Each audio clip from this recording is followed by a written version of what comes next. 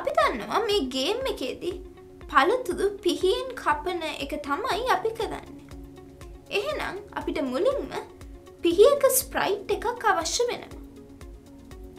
මුලින්ම මම sprites click කදනවා. දැන් මේ නිව ස්ප්‍රයිට් ඇට් බ්ලොක් එක මේ විදිහට සෙට් බැග්‍රවන්් බ්ලොක් එක පහලට ට්‍රැක් කදන්න දැන් මේ පුංචීතලේ කලික් කදලා පිහිය තේරුවා. දැන් make new sprite at block එක ඉදිරියේ කහපාටින් තියෙන ලොකේෂන් බ්ලොක් එක මත කලික් කදලා මේ පිහිය අපි මෙතනින් තියෙන. ද මේ පිහිය ප්‍රමාණය කුඩා කර ගන්න අවශ්‍ය වෙනවා. ඒ සඳහා මම නැවත ස්ප්‍රයිට්ස් කලික් කදෙනවා. දැන් සෙට් සයිස්2 බ්ලොක් එක මේ විදිහට ඩ්‍රෑක් කදනවා. දැන් මේ පුංචීතලේ කලික් කදලා පිහිය තේදවා.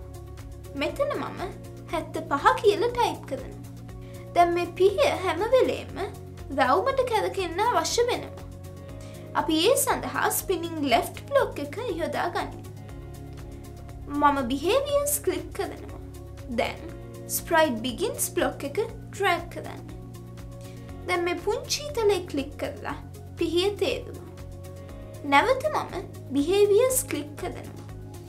දැන් ස්පිනිිං ලෙෆ්ට් බ්ලොග් එක බිගින් සිද්දියට ට්‍රෑක් කරනවා. ඔන්න දැන් හරි. දැන් රන් බටන එක කලික් කදලා අපි නිර්මාණය කරපු පිහිය කැවකැවෙනවාද කියලා බලන්න.